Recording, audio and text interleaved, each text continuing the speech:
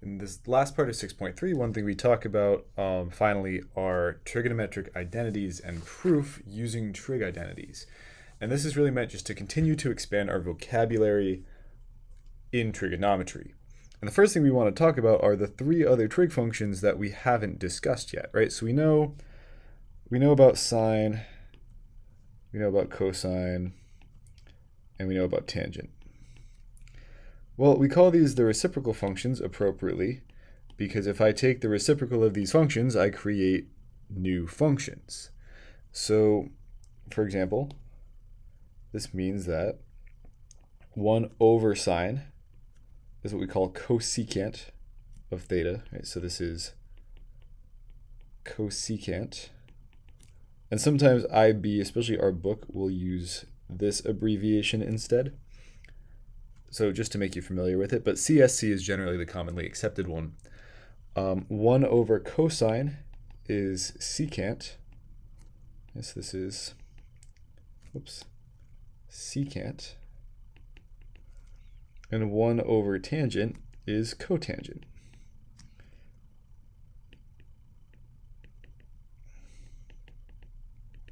So you have cosecant, secant, and cotangent. And now we have six trig functions, right? We have sine, cosine, tangent, and we have their reciprocals, cosecant, secant, and cotangent. And generally we tend to write them this way in this kind of three by two grid so that we see that relationship between them, right? We see that we see that reciprocal relationship. So let's start to work with this a little bit. So we're given that theta is a reflex angle and we're given that cosine is 3 fifths. I want to find the values of the remaining five trig functions. Well, let's kind of draw what's going on here. If theta is a reflex angle, then theta sits here. Well, it sits, actually sits anywhere. It could sit in the third quadrant. I could go out this way. Or I could go all the way out into the fourth quadrant somewhere. Well, which is it? Well, we know that cosine here is positive. So because cosine is positive, I know I end up in quadrant 4. So sometimes I like to draw my triangle so that it's actually oriented as if it were in quadrant 4. So here is my triangle in quadrant 4.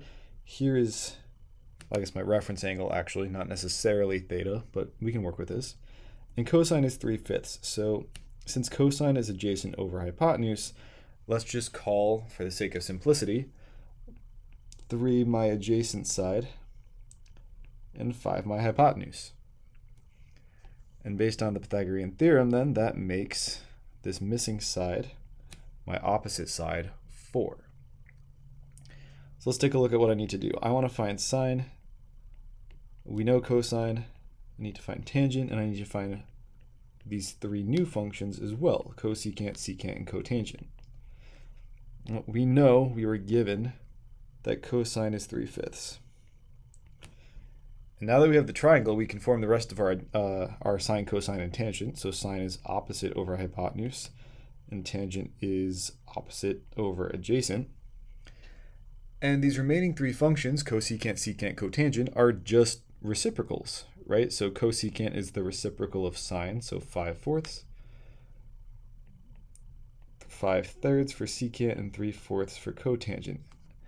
Now, however, we're actually not done. I realize I've just missed something, which is the sign, SIGN, of each of these functions, right? Because only cosine is positive in the fourth uh, quadrant.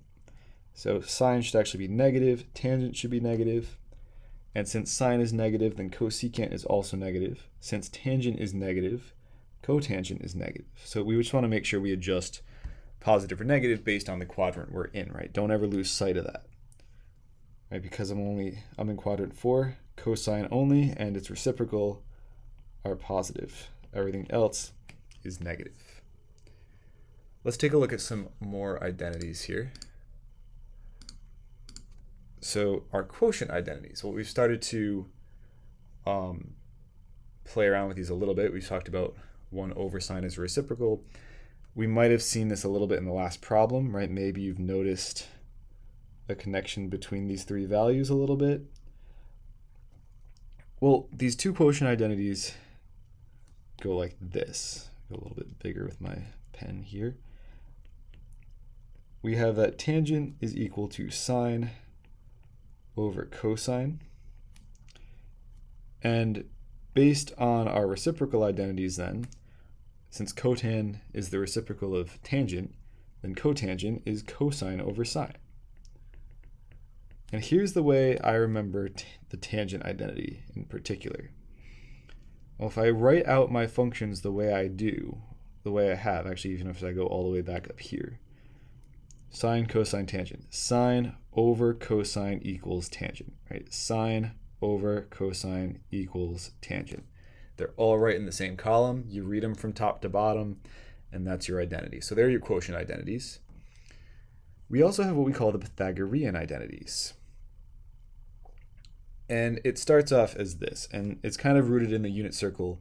We're not going to go too much into the derivation of this right now, but this is kind of one of the guiding ones here, and it's sine squared, whoops, plus cosine squared equals 1. Sine squared plus cosine squared equals 1. If you need to memorize anything, I mean, it's on your formula sheet, but if you were to memorize one, it would be this one and the, and the tangent one. But for Pythagorean identities, this is the one. We can derive two more if we think about trying to eliminate either sine or cosine. So if I were to divide everything through by sine squared, well, anything divided by itself is 1, so sine squared divided by sine squared is 1. Cosine squared divided by sine squared. Well, cosine over sine is cotangent, right? So this is cotangent squared, and then 1 over sine is cosecant. So this is cosecant squared. So here's another Pythagorean identity.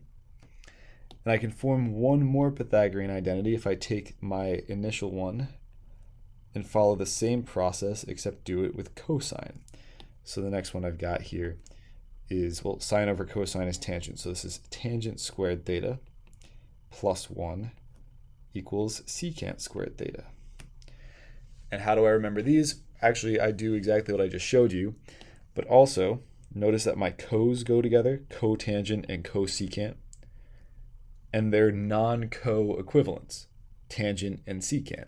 Those are your pairs. Sine and cosine, those always go together here. Sine squared plus cosine squared is 1. Cotangent, cosecant go together. Tangent and secant go together.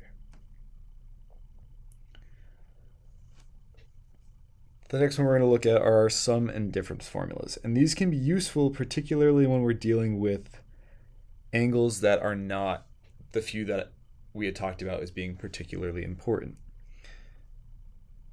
Let's say I have sine of a plus or minus b, right? Sum or a difference. Doesn't really matter here. It works kind of the same way. So for sine, it's going to work this way. Sine A cosine B plus or minus cosine A sine B. This is what I'm going to tell you. Just use your formula sheet. Just stick with the formula sheet. This one can be tricky to memorize and keep the moving pieces straight. What is important to keep in mind, though, and what is important to remember, is that whatever if I have plus or minus in my parentheses here, I keep it that way in the formula. So plus goes with plus, minus goes with minus. If I have so sine of something plus something, I keep my plus. Likewise with minus. Sine of something minus something, I'm going to keep my minus. So keep the same sign. With cosine, it works a little differently.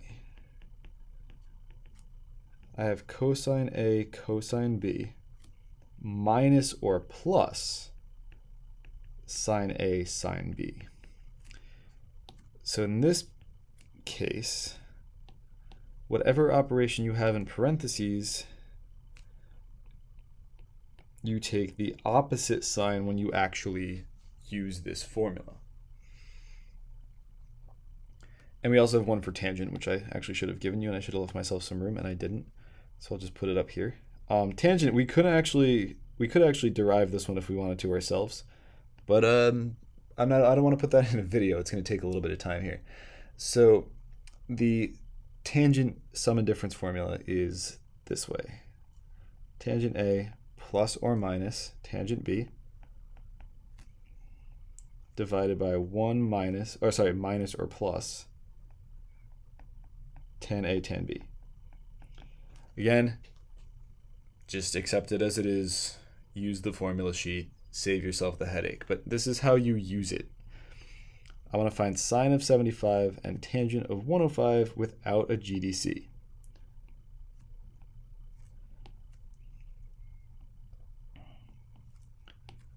Zoom in here a little bit. So sine of 75, I want to be able to break up 75 degrees into a sum or difference of two values that I should know, two of my kind of important values. And the first one I think of is 30 plus 45. So here's my A and here's my B, right? Here's A and here's B. And we're just going to apply the formula. Sine of 30, cosine of 45, plus, we keep the same sign for sine, cosine 30, sine 45. And using the hand trick or using rote memorization or what have you, we know that sine of 30 is 1 half. Cosine of 45 is root 2 over 2. Cosine of 30 is root 3 over 2. And sine of 45 is root 2 over 2. And I can simplify this and I get root 2 over 4 plus root 6 over 4 and just keep in mind that we cannot add these square roots together. I cannot call this square root of 8 over 4. It's just not how that works. It's not how adding radicals work.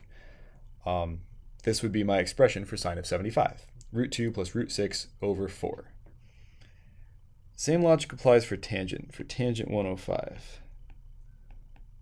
I want to know if I have some convenient values that I know that I could maybe add together to get what I'm trying to get to. And I do. I could do, I don't know, maybe 135 minus 30. That's the first thing I can think of offhand that seems to work.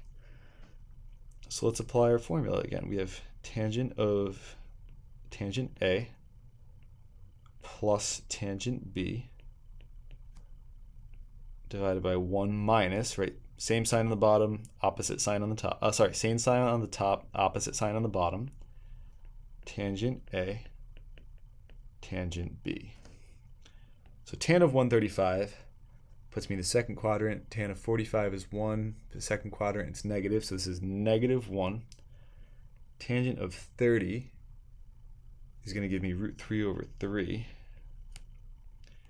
and then 1 minus negative 1 times root 3 over 3. So I get, oh, that's just going to be 1 plus root, negative 1 plus root 3 over 3. And then I'm going to get 1 plus root 3 over 3. Sorry, 3 plus root 3 over 3 for both of these. That's my fault. So negative root 3, positive root 3, and I'm going to get negative root 3, all right, negative 3 plus root 3 over positive 3 plus root 3. And we could go in and rationalize and simplify that all we want, but I'm just going to leave it as is for the sake of time because I do have one more set of identities that I want to go through before um, I end this video. Finally, we have the double angle identities. And just like sum and differences are used for a sum, double angle identities, these actually come from the sum and dis uh, difference formulas. So this is kind of an extension of the sum and difference formulas. So sine of 2 theta. Well, if I were to show you how this actually comes comes to be, I would start by calling this sine of just theta plus theta, but we're going to get into that another time. This works out to be 2 sine theta cosine theta. For cosine 2 theta, we actually have a few that we can use. The one based on the double angle, sorry, the one on the sum and difference formulas, is cosine squared theta minus sine squared theta. But by our Pythagorean identities, I have a couple other forms that I can use that are just as important. And you can prove these on your own if I want. Maybe I'll ask you to do this on a test or something, I don't really know. But we also have these as options for cosine 2 theta as well. Both do come in handy. All three come in handy. You should be ready to use them. And finally, for tangent 2 theta, again, this just comes from the sum and difference formulas. 2 tan theta over 1 minus tan squared theta. So one quick problem with this, evaluate this formula right, or this expression right here. And if your first thought is, I don't know what sine 15 is, and I don't know what cosine 15 is, that thought should be followed by, I wonder if there's a formula that I can use, an identity that I can use to simplify this. 2 sine cosine. Well, let's see. I have that right here. So this whole expression is equal to, sorry, sine of 2 times 15, which is sine of 30 degrees. And based on either your hand trick or rote memorization, you know that sine of 30 is 1 half, and you're done. That's all there is to it.